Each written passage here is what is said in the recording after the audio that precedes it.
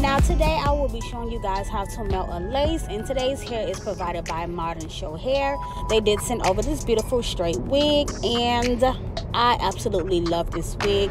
It was super super soft and super super pretty and this, the hairline was super easy to actually pluck and the knots bleached quickly, easy with no problem.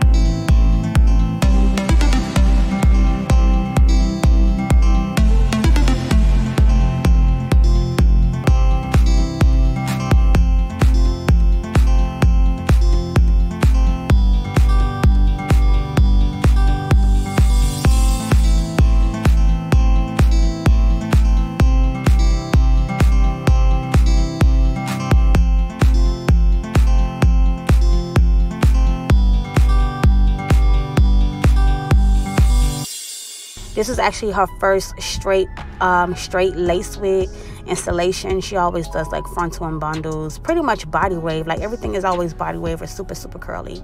You know, the hair like pretty much finished, just regular. But she can also put it behind her ear as well. It's a very versatile look. And this is actually a lace front. It's a 13 by 4 lace front. Not like a frontal wig, but just a regular lace front.